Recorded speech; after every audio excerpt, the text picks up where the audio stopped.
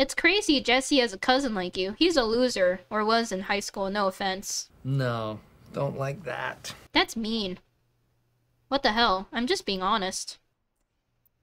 No.